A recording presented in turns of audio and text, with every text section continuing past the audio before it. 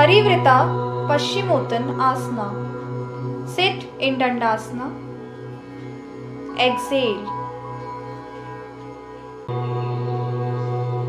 Extend the right arm towards the left foot. Twist the right forearm and the right wrist so that the right thumb points to the floor and right little finger points up.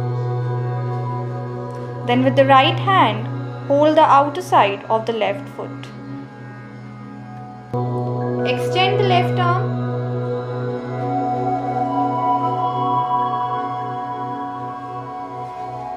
Over the right forearm. Keeping the left wrist up. Twist the left forearm and the left wrist so that the left thumb points up. Twist the trunk about 90 degree to the left by bending and widening the elbows. Exhale.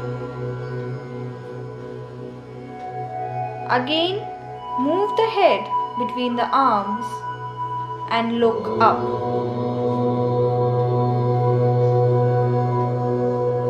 Remain in this position for a few seconds.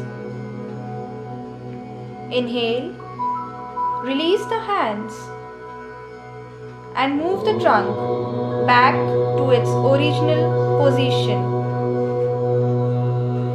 And repeat the asana. Benefits of Parivritta Paschimottanasana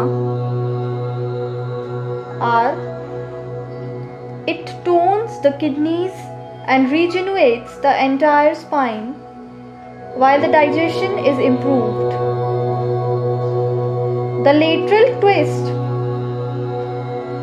stimulates blood circulation in the spine and relieves backaches. This invigorates posture, tones the abdominal organs, and keeps them free from sluggishness. Relax